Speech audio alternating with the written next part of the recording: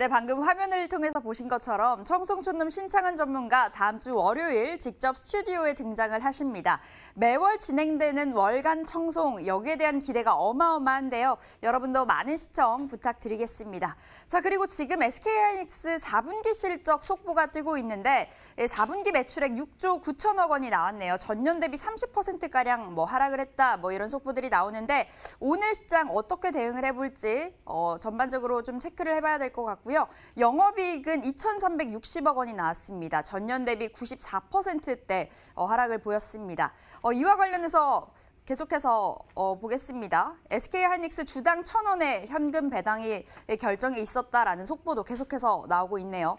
어, 오늘 전반적으로 시장의 변동성이 클 것 같은데요. 이와 관련해서 MPNW 주쌤 예, 김도영 전문가와 함께 이야기 나눠보겠습니다. 전문가님 안녕하세요. 안녕하십니까. 피식 주생 김도영입니다. 네, 어제 우리 시장 하염없이 밀려 내려가더라고요. 미국 증시가 반등을 해줬는데 어, 오늘 장은 어떻게 흘러갈지 굉장히 궁금합니다. 어떻게 챙겨보세요?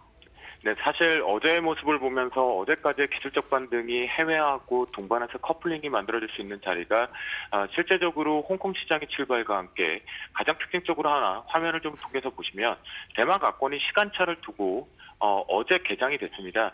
이 부분을 우리가 먼저 결론을 놓고 보면 다음 주 월요일날 특히 주초 부분에서 어, 공격적인 매수 타이밍을 공포 매수를 공격적으로 주식 비중을 100% 만들 거냐 만들지 못할 것이냐에 대한 증검 승부가 다음 주 주초 월화에서 결정이 된다라고 볼 수가 있겠는데요.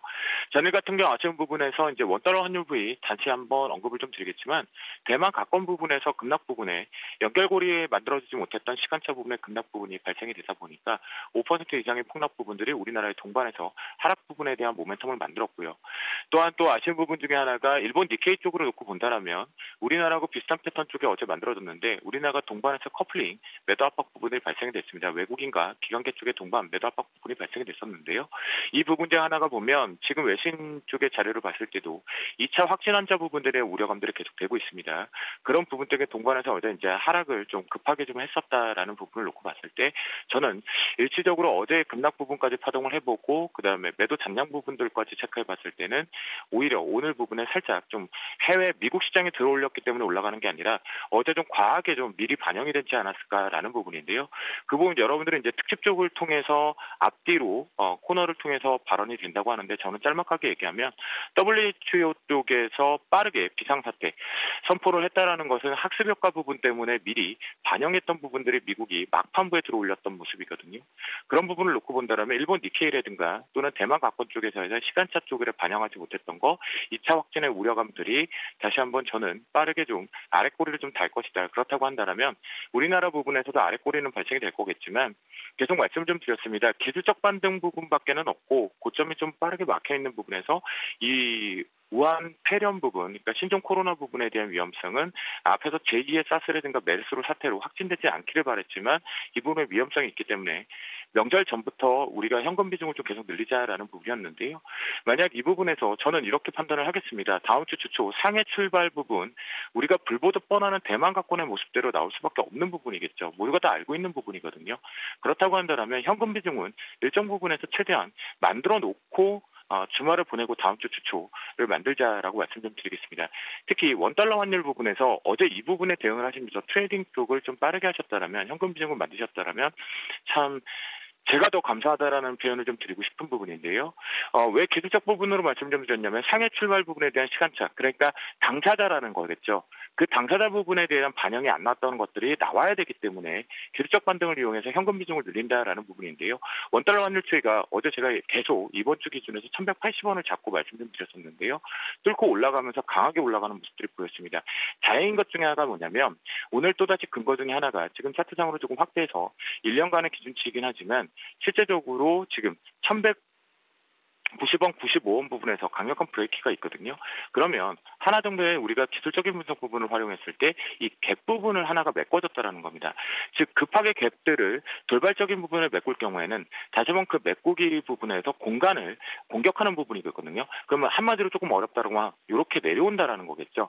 오늘 부분에서는 원달러 환율 추이가 공격적으로 다시 한번 위쪽으로 올라가기보다는 고점이 막히면서 내려오는 부분의 뷰가 발생될 것이다.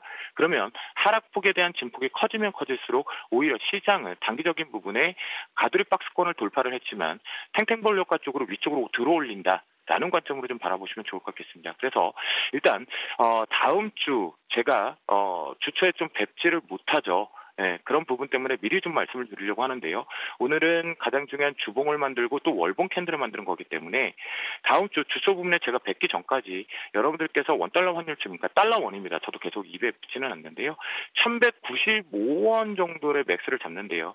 이 부분까지 돌파하기 지금 만만치가 않습니다. 그 얘기 무슨 얘기냐면 이게 일시적으로 지금 돌발적인 급락 이후에 핑계거리에 대한 급락, 그러니까 과열 붐의 확장 추세 부분을 마무리하는 과정으로만 핑계만 만드는 거기 때문에 여기서부터는 원달러 환율에 대한 변동성을 이용해서 오히려 기술적 반등 부분에 마무리하고 주초 부분에서 급락 나오면 거기서 1995원 훼손하지 않는다면 이제 거기서부터는 공격적인 매수를 월요일부터 좀 잡자라고 말씀을 좀 미리 드리도록 하겠습니다. 그러면 주봉상에서 우리가 판단했을 때 신호등 차트를 통해서 월봉 차트를 조금 보도록 하겠는데요.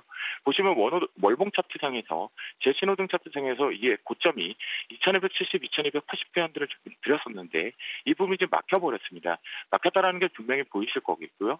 또한 여기서 이제 저점에 대한 브레이크, 그러니까 상해 부분 때문에 제가 마음이 급한데요. 그 부분을 놓고 판단을 해본다라면 상해 쪽에서 만약 돌발적인 부분의 급락을 만들었을 때 이벤트성으로 만들었을 때도 2090포인트에 한 번에 공격을 할 겁니다. 그 부분 정도까지만 나온다고 한다면 이번에 우리나라 자체도 자체적으로 먼저 반영을 하면서 마무리가 된다라고 볼 수가 있겠고요. 오늘 주봉 부분에 좀 아쉬운 부분이 있는데 주봉에서는 사실 오늘 이 부분 제가 길적 반대로 수요일과 목요일 정도의 캔들 분석을 했었거든요. 이건 사실 우리나라의 분석 부분보다는 해외에 대한 변동폭, 그 다음에 대만 각관부터 해서 일본까지 변동폭이 있는데 아쉬운 부분은 길적 반등을 제대로 못했다라는 거죠. 지수의 분위기가 그 부분인데 코스피 쪽으로 놓고 봤을 때 2,130포인트에 대한 강력한 지지력이 하나가 발생이 될 위치에서 반등을 하고 내려왔을 때 2,130인데요. 이 부분이 열리는 상태이기 때문에 실제적으로 다음 주 주초까지 상해까지 우리가 열어놨을 때 2100포인트에서 2090포인트 부분에 대한 거는 대비를 해놓자 네, 미리미리 좀 말씀 좀 드리는 거겠고요. 두 번째 코스닥 쪽으로 좀 넘어가서 체크해 보면 코스닥 같은 경우는 640포인트에 대한 강력한 지지력 테스트 자리가 분명히 있거든요. 어, 사실 이 부분 같은 경우는 5G만 놓고 판단을 해보더라도 질적인 부분에서 미리 조금 빼놓고 4분기 실적에 대한 우려감들을 먼저 미리 반영하고 있다라는 부분을 볼 수가 있겠습니다. 하지만 이 부분 역시도 상해 쪽의 부분의 급락 부분, 당사자이기 때문에 5% 이상에 대한 추가적인 하락 부분이 나올 것을 판단이 되거든요. 그렇다고 했을 때 코스닥 같은 경우는 630포인트를 보시면 좋겠고요. 월봉상으로 좀 빠르게 넘어가 보면 역시 제 신호등 차트상으로 놓고 봤을 때 위쪽 고점이 680포인트 부분에서 브레이킹이 걸렸다는 부분이 볼 수가 있겠습니다. 그런 부분 쪽에서 630포인트를 이번에 급락에 대한 공포 자리라고 판단을 해보시면서 어, 그 부분부터는 어, 공격적인 매수 타이밍으로 이제 사고 싶었던 종목군들이나 현금 비중을 좀 만들었던 것들 아쉬운 대로 그 부분들을 다시 한번 어, 고점에서 매도를 했지만 다시 한번 매수를 좀 잡아보는 타이밍을 만들어주면 좋지 않을까 저는 자신 있게 좀 말씀 좀 드려보도록 하겠습니다. 이 또한 지나간다라는 표현을 좀 드려보도록 하겠고요. 오늘 피식선물 병고가 쪽에서 그러다 보니까 위쪽 부분에서 제가 제한적으로 한번 돌파가 나올 것으로 오늘은 보고 있는데요. 288점 80포인트에 대한 돌파가 나오면 위쪽에서 오늘 기적 반등 어제 좀 과했다라는 부분이겠죠. 특히 우리가 중동발 부분에 대한 리스크 발생됐던 이 부분에 대한 아, 이탈이 나왔기 때문에 심리적으로 위축이 돼 있는데요. 어제 기관 쪽 매도 잔량 부분들을 체크해 보면 실제적으로 좀 과하게 좀 다 나올 만큼 급하게 나오지 않았을까, 네, 업택률을 비교해서도 나오지 않았을까라고 판단이 되기 때문에 일적 반등에서 288.80이 돌파가 나가면 어, 여기를 이용해서 종목 기준에서 위에서부터는 조금씩 현금 비중을 올리고 지수 trading 관점 쪽에서는 오늘 장중 부분에 위쪽으로 trading 대응을 하자라고 말씀 좀 드리겠고요. 저점 부분에서는 추가적으로 이제 상해 부분까지 예측을 하면서 나오면 안 되겠죠. 그래야 왜냐하면 우리가 현금 비중을 만들어가는 시간대가 필요하니까요. 그런 부분에 오늘 다시 먼저 미리 공격을 해버린다라면 상해 우려감 때문에 286.25 포인트를 훼손할 경우에는 다시 한번 더 급락 파동이 나오겠고요. 결론 먼저 내버려두면 상해 지수까지의 커플링 현상까지 놓고 봤을 때 하단부는 조금 더 열어두셔야 된다라는 거, 어, 그 부분 꼭 좀 숙지하시면 좋겠다라고 말씀을 드리도록 하겠습니다. 네, 시장만큼 정말 이 목소리에 비장함이 묻어 나옵니다. 어, 전문가님께서 말씀해주신 대로 달러원 체크 계속해서 해봐야 될 것 같고요. 또 외국인과 기관의 양 주체 매도 선반영도 어, 좀 기대를 해보면 좋을 것 같습니다. 그렇다면 오늘 금요일장에서 볼 수 있는 이 필식 테마 뭐가 있을까요? 네, 우리가 전체적으로 좀 리뷰를 하다 보면 제가 지난 수요일에 그런 얘기를 좀 드렸습니다. 분명히 지금 얘기하는 부분에서 놓고 봤을 때 신종 코로나 바이러스 부분들을 체크해 봤을 때 어, 우리가 보는 부분에서는 왜 수요일 날 이거를 확산되고 오랜 시간 봐야 된다. 제2의 사스나 메르스라는 표현을 하면서 왜 수요일 날 매도 사인을 드렸냐면요. 바로 실제 너무 확산되고 있었다라는 거, 공기청정기 쪽으로 넘어가는 건 이해가 안 간다라는 부분이겠죠. 그러니까 너무 과열적을 만들면서 일부러 우리들한테 추격 매수를 해서 위험성을 아, 그 물량들을 받아내기고 했던 패턴들이 나왔기 때문에 저는 매도 사인을 드렸거든요. 그러면 첫 번째 종목 쪽으로 승인을 좀 말씀을 좀 드리면 명절 전에 미리 언급을 드리면서 슈팅이 좀 나갔었습니다. 그런데 수요일 날 기준 쪽에서 매도를 좀 잡았던 이유 중에 다른 거 아닙니다. 실제 확산되는 부분까지 놓고 봤으면 holding 부분이었지만 앞에서 말씀드렸던 공기청정기 쪽 테마성으로 파세코라든가 위닉스 그리고 클린앤사이언스 부분 미세먼지로 아직은 생각하지 말자고요 시장의 주목이. 그런 부분 쪽에서 너무 확산되는 부분에서 위험성이 있었다라는 거죠 화요일날. 그렇기 때문에 일단 매도를 하고 다시 보자라고 했습니다. 그러면 2차 확진 환자들에 대한 우려감들이 있기 때문에 제가 시간 가져 조금 말이 좀 빨라지는 것 같은데요. 시간이 제가 제한이 걸려 있어서요. 그런 부분을 놓고 본다면 승일 같은 경우 이제 다시 한번 매수 타이밍을 잡자. 지금 공매도 과열 부분이 발생이 됐어요. 그래요. 우리 만약에 이 부분의 우려감 때문에 우리 어 실제적으로 감염이 되면 안 되고 건강 유념을 해야겠지만요. 바이러스 때문에. 하지만 이걸 이용해서 공매도에 우리한테 아픔을 또 주고 있는 그들이 다시 한번 제자리 경제 성장률의 부분에 둔화가 없는 부분에 공격을 해볼 필요는 있지 않을까라는 생각을 합니다. 그렇기 때문에 승일 같은 경우에도 지금 trading 관점으로 다시 매수를 잡자라고 말씀 좀 드리겠고요. 타로 같은 경우도 보면 아주 강하게 아직 버티고 있습니다. 둘 다 손세정제 쪽으로 걸려 있는데요. 저는 이렇게 생각을 합니다. 만약 현재까지도 들고 있는 분들 같은 경우에는 이제는 보유자의 영역 같은데요. 4,000원대 부분 4,100원 이탈할 경우는 한 번은 음, 제 전략과 다르게 매도를 안 하고 오셨다라고 한다면 한 번은 팔고 가자라고 분명히 자신 있게 말씀 좀 드리겠습니다.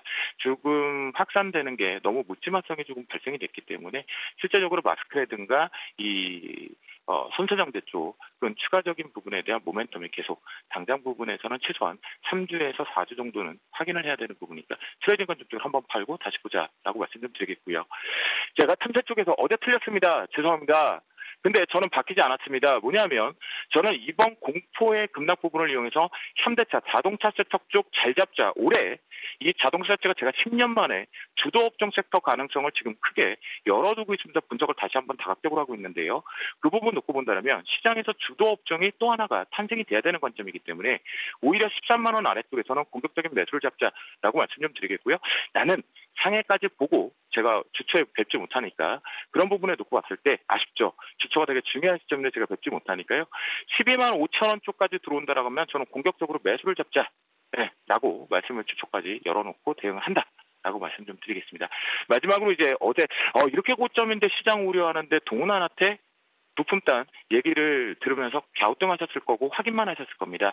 자 어제 시장 때문에 굉장히 윗꼬리가 달렸다라는 관점이겠고요.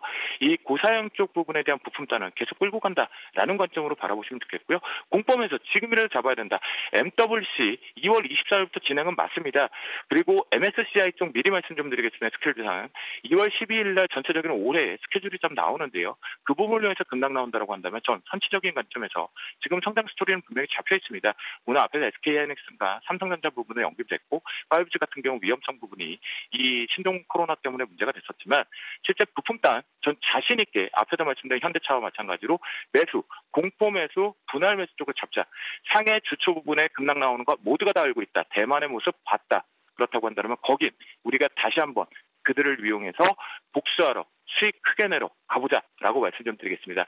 한 달 고생들 많이 하셨고요. 한 주 동안 고생 많이 했습니다. 이 또한 지나가고요. 저 열심히 자신 있게 여러분들과 함께 피식 해보도록 하겠습니다. 지금까지 오늘 외쳐보겠습니다. 오늘도